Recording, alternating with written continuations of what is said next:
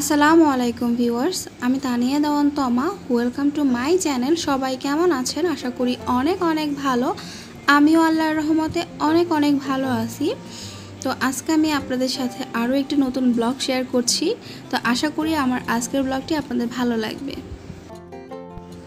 তো এই ব্লগটি ছিল আমার শুক্রবারে করা। তো শুক্রবারে তো সবার বাসায় কিন্তু সব গৃহিণীদের বাসায় অনেক অনেক বেশি কাজ থাকে। আবার আরেকটা যেটা থাকে, বাচ্চাদের কিন্তু স্কুলে নিয়ে যেতে হয় না, বাচ্চারাও বাসায় থাকে। তো আমি সকালবেলা ঘুম থেকে ওঠার পর নাস্তা তৈরি করেছিলাম জাহরজানকে খাইয়েছি। তো তারপর বিছানার চাদর উঠিয়ে আমি ভিজিয়ে রেখেছি। তো ভিজিয়ে রেখে আমি একটু বসেছিলাম, জিনাদের মাথায় তেল দিতেছিলাম মানে নারিকেল তেল। শুক্রবার হলেও জিনাদের মাথায় আমি তেল দিয়ে দিই, তেল দিয়ে তারপর মাথা পরিষ্কার করে দিই। তো তেল দেওয়ার পর জিনাত হঠাৎ করে তেল দেওয়া শেষ হয়ে যাওয়ার পর আমাকে বলছিল যে, আম্মু আম্মু, আমি না তোমাকে সাজু করিয়ে দিব। কেন সাজু করিয়ে দিবা? তুমি যে আমাকে সাজু করিয়ে দাও, আমি তোমাকে সাজু করিয়ে দিব। তো তারপর বললাম ঠিক আছে, তুমি কীভাবে সাজু করাবা? তো তারপর জিনাত ওর নেল পলিশটা বের করে নিয়ে আসছে, নিয়ে এসে বলতেছে যে, আমি তোমাকে নেল পলিশ পরিয়ে দিব। তা আমি তো পরবো না, ও কান্না যে, নেল পলিশ পরলে তো আমি নামাজ পড়তে পারব না। তো বলতেছে যে, না, আমি তোমাকে দিবই দিবই। পরে বললাম যে আচ্ছা ঠিক আছে, তুমি দাও। তো ও নেল পলিশটা আমাকে পড়াতে পেরে এত এত হ্যাপি ছিল। মানে ও নিজে থেকে খুব মানে হ্যাপি ফিল করতেছিল। আমি এটা ওর চেহারা দেখেই বুঝতে পারতেছিলাম। মানে খুবই একটা অন্যরকম একটা এক্সপ্রেশন ছিল ওর চোখে মুখে যে ও আম্মুকে সাজিয়ে দিতেছে। আর এমনিতেও ও নিজেও খুব সাজার পাগল মানে নেল পলিশ তারপর লিপ লিপস্টিক এগুলো সব কিছুই ও মানে আমারটা নিয়ে নিয়ে টানাটানি করবে। তো নেল পলিশ আমি কখনো কিনি না, ওর জন্য এই নেল পলিশটা কেনা। তো কেনা না, এই নেল পলিশটা আমিও কিনে দিইনি ওকে। আমার বাসায় যে আমার চাচি শাশুড়ি এসেছিল উনি এই নেল পলিশটা ওকে কিনে দিয়ে গিয়েছিল, তো ওইটা দিয়ে ও আমার দুই পায়ে সুন্দর করে দিয়ে দিছে। তো বাচ্চা মানুষ ও কিন্তু সুন্দরই করেই দিয়ে দিছে। খুব একটা খারাপ কিন্তু হয়নি।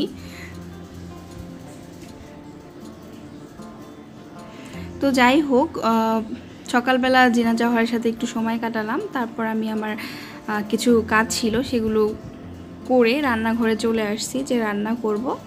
তো রান্নাঘরে আসার পরে আমি ভাত বসিয়ে দিলাম। আর আজকে মূলত আমি ইলিশ মাছ বের করেছি। ভাবলাম যে একটু ইলিশ মাছ রান্না করি। তো ইলিশ মাছের আমি করব হচ্ছে সরিষা ইলিশ। তো সরিষা ইলিশ করব আর ইলিশ মাছটা যেহেতু বের করেছি, ভাবলাম মাথার অংশটা দিয়ে কী করব? শুধু সরিষা ইলিশ দিয়ে তো খাওয়া হবে না, তাহলে আরেকটা তরকারি করি। তারপর আমি এই তো চাল কুমড়া চাল কুমড়া কেটে নিচ্ছি ভাবলাম যে চাল কুমড়ার চাল কুমড়া কেটে ভাবলাম যে ইলিশ মাছের মাথা দিয়ে রান্না করি। চাল কুমড়া দিয়ে কিন্তু ইলিশ মাছের মাথা রান্না করলে ভালোই লাগে খেতে। আমি এর আগে অনেক কয়েকটা ব্লগে দেখিয়েছি। তো এই রেসিপিটা কিন্তু আমি আপনাদেরকে দেখাচ্ছি না যে চাল কুমড়া দিয়ে ইলিশ মাছের মাথা। তো আমি যেটা দেখাবো স্পেশালি সেটা হচ্ছে যে সরিষা ইলিশ। সরিষা ইলিশটা আমি কীভাবে রান্না করি? যদিও এখন কিন্তু ইলিশ মাছের সিজন না তারপরে যেহেতু আমার বাসায় নিয়ে আসছে সিজনের সময় কিন্তু সরিষা ইলিশটা খেতে বেশি ভালো লাগে, কারণ তখন কিন্তু ইলিশ মাছের একটা ফ্রেশ একটা ফ্লেভার থাকে। তো তারপরেও হঠাৎ করে খেতে ইচ্ছে করল, আর আমার ভাইও ছিল বাসায়। তো সব মিলিয়ে ভাবলাম যে করি। ও ও আসলে সরিষা ইলিশটা পছন্দ করে, পরে ভাবলাম যে না, করেই ফেলি। তো যাই হোক, আমি কিন্তু এই মানে চাল কুমড়ো দিয়ে মাথাটা রান্না করার পরেই সরিষা ইলিশটা বসাবো। আর একদম টোটালি আমি যেভাবে রান্না করি, আমি যে একেবারে সেই কি বলব মানে পারফেক্ট যে সরিষা ইলিশের রেসিপি ওইটাও না মানে আমি আমার মতো করে যেভাবে রান্না করি, সেটাই কিন্তু আমি আপনাদের সামনে তুলে ধরবো আজকে। তো আশা করি আমার আজকের এই রান্নাটা আপনাদের কাছে ভালো লাগবে অন্য অন্য রান্নার মতো।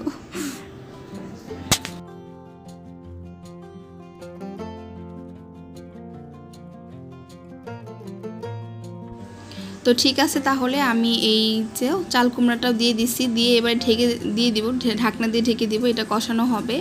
আর এই দিক দিয়ে কিন্তু আমার ভাতেরও বলক চলে আসবে। তো আমি আজকে ভাতের মধ্যে হচ্ছে এই যে কাঁচা কলা সেদ্ধ দেবো। কাঁচা কলার একটু ভর্তাও করব। কাঁচা কলা ছিল। আর কাঁচা কলা কিন্তু আমি সাধারণত ভাতের মধ্যে সিদ্ধ দিয়েই ভর্তা করি, আলাদা করে আর সেদ্ধ করি না। তো ঠিক আছে, আমার ভাত আর তরকারিটা হয়ে যাওয়ার পর আমি ফিরে আসছি। তো আমার ভাতটা হয়ে গেছে, আমি ভাতটা কিন্তু মার গেলে দমে বসিয়ে দিছি আর এই দিক দিয়ে ইলিশ সরষে, ইলিশ রান্না করার জন্য যা যা লাগবে আমি আপনাদেরকে দেখিয়ে দিচ্ছি। এখানে আমি সাদা সরিষা নিয়েছি, ভিজিয়ে রেখেছি আরও আধা ঘণ্টা আগে। কাঁচামরিচ কেটে রেখেছি আর পেঁয়াজ। তো কাঁচামরিচ পেঁয়াজ এগুলো সরিষ এগুলো কিন্তু আমি ব্লেন্ডারে ব্লেন্ড করব। আর এই যে মাছটাও কিন্তু কেটে রেখেছি। যেহেতু এটা অনেক মানে চওড়া ছিল এই জন্য কিন্তু আমি এরকম করে কেটেছি। কারণ চওড়া মাছগুলো যেটা হয় ভেঙে যায় নাড়াচাড়া করতে গেলে। তো এবারে আমি প্যানটা হচ্ছে চুলায় দিয়ে দিচ্ছি। আর আমি কিন্তু ওই যে দেখালাম যে ভিজিয়ে রাখা সরিষা, ওই সরিষা কিন্তু আমি কাঁচামরিচ আর কিছু পেঁয়াজ, লবণ এগুলো দিয়ে ব্লেন্ডারে কিন্তু ব্লেন্ড করে নিয়েছি। কেউ চাইলে পাটাও বেটে নিতে পারবেন। আমার সুবিধার্থে কিন্তু আমি ব্লেন্ডারে অল্প একটু পানি দিয়ে ব্লেন্ড করেছি। কারণ হচ্ছে সরিষাটা কিন্তু কাঁচামরিচ, পেঁয়াজ আর লবণ দিয়ে ব্লেন্ড করলে তিতো লাগে না। আর হচ্ছে মানে পেঁয়াজ থাকলে গ্রেভিটাও কিন্তু ঘন হয়। আমি কিন্তু অনেকটুকু পেঁয়াজ কিন্তু ওই সরিষার সাথে দিয়েছি। আর এই যে এই প্যানটাতে এবার আমি কিন্তু তেল দিয়ে দিছি, আর দিয়ে দিছি হচ্ছে কালো জিরা আর পেঁয়াজ কুচি। এখন এই সবগুলো উপকরণ আমি কিন্তু ব্রাউন কালার করে আস্তে আস্তে ভেজে নিব।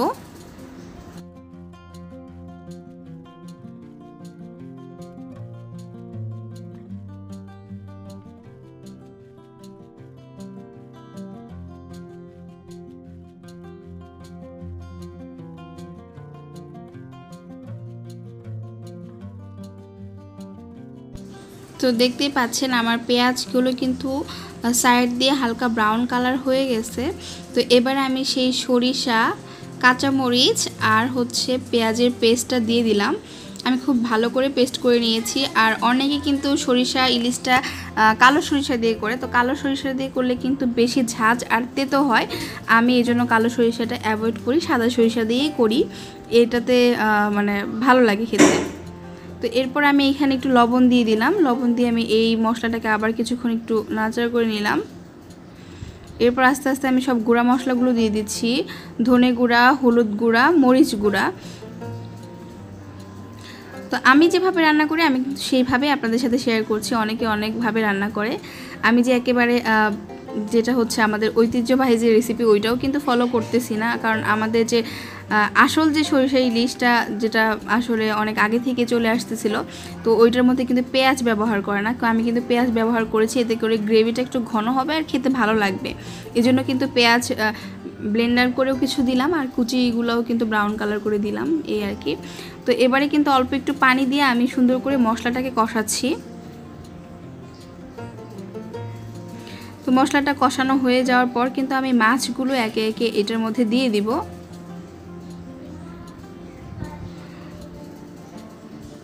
তো জাস্ট আমি কিন্তু মশলার উপর দিয়ে মাছগুলো বিছিয়ে দিতেছি।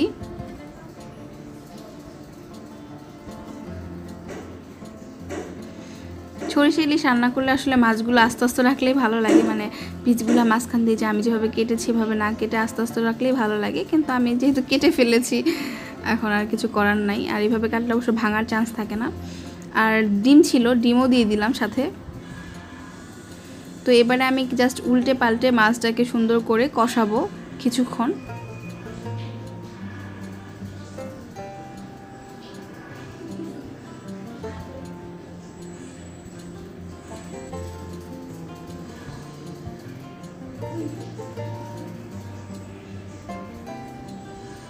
ঢেকে দিলাম। আবার কিছুক্ষণ পর ঢাকনাটা তুলে নিলাম। তুলে নিয়ে আমি নাড়াচাড়া করে দেখতেছিলাম যে কী অবস্থা, কষানো হয়েছে কিনা ঠিকঠাক মতো। তো এই আর কি, সরিষা ইলিশে কিন্তু খুব একটা বেশি মশলার প্রয়োজন হয় না। এখানে কোনো কিছুই লাগেনি। আর ইলিশ মাছের মধ্যে আসলে এত মশলার প্রয়োজন হয় না, আদা জিরা, রসুন, এগুলো কোনো কিছুই প্রয়োজন হয় না, এমনিতেই অনেক মজা হয়। তো কষানো যেহেতু হয়ে গেছে, আমি একটু বেশি করে পানি দিলাম। এই পানিটাতে হচ্ছে মাছটা একদম পুরোপুরিভাবে সেদ্ধ হবে। একদম মশলার সাথে মাছটা মিশে যাবে আর রান্নাটা হয়ে যাবে। আর আমি কিন্তু সরিষা ইলিশে কিন্তু ঝোল রাখে না কেউ, এটা কিন্তু মাখা মাখা টাইপের একটা গ্রেভি হবে।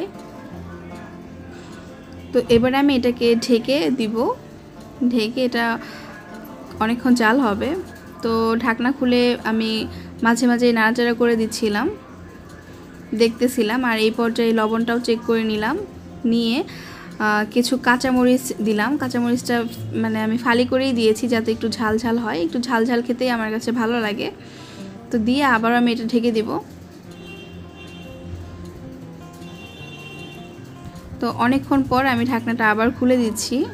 দেখতেই পাচ্ছেন কাঁচামরিচগুলো কিন্তু কালারটা চেঞ্জ হয়ে গেছে। গ্রেভিটা কিন্তু অনেকটাই ঘন হয়ে গেছে।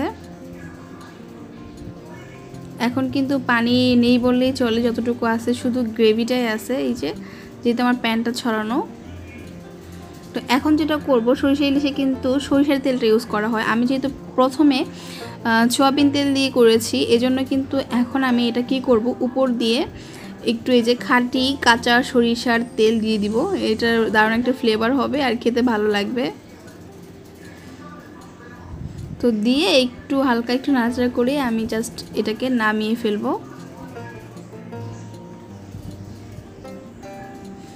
আশা করি দেখে আপনারা বুঝতে পারতেছেন যে কতটা ইয়ামি হয়েছে। আসলে অনেক ইয়ামি হয়েছিল, আমি তো খেয়েছি, আমি জানি। আর আমার বিশ্বাস, এইভাবে যদি আমার আপুরা ট্রাই করে, অবশ্যই ভালো একটা রেজাল্ট পাবে এবং খেতে অনেক ভালো লাগবে। আর আমি সব সময় সহজভাবে, সাধারণভাবেই রান্না দেখানোর চেষ্টা করি যখন আমি রান্না দেখাই আর কি। তো যাদের ভালো লাগে আমার রান্না, তারা প্লিজ আমার চ্যানেলটি সাবস্ক্রাইব করবেন। ভিডিওটিতে অবশ্যই একটি লাইক দিবেন। কমেন্টস করে জানাবেন কেমন হয়েছে, আমার যদি কোথাও কোনো ভুল হয়ে থাকে সেটাও আমাকে কমেন্টস করে জানাবেন।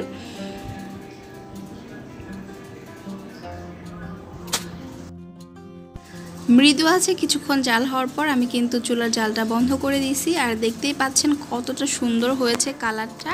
প্লাস হচ্ছে এটার গ্রেভিটা। এবং সরষের তেলগুলো কিন্তু উপর দিয়ে ভাসছে, দেখতে খুব ভালো লাগছে। তো আজকের মতো আমার এই রান্নাটা শেষ হলো।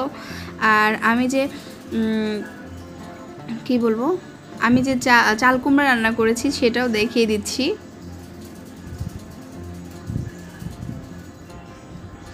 একটু কাছ থেকে দেখাচ্ছি। যাতে করে আপনারা বুঝতে পারেন যে এটার গ্রেভিটা কতটা পারফেক্ট হয়েছে। আর আমি কিন্তু দুই টেবিল চামচের মতো সরিষা নিয়েছিলাম, অনেকে সরিষার পরিমাণটা জিজ্ঞেস করতে পারেন। আর এই যে আমার এই তরকারিটাও দেখেন কত সুন্দর হয়েছে কালার। তো আজকের মতো আমার ভিডিওটা এখানেই শেষ করব। সবাই খুব ভালো থাকবেন, সুস্থ থাকবেন, সুন্দর থাকবেন। আশা করি আমার আজকের লাঞ্চ রুটিনটা আপনাদের ভালো লেগেছে। আল্লাহ হাফেজ।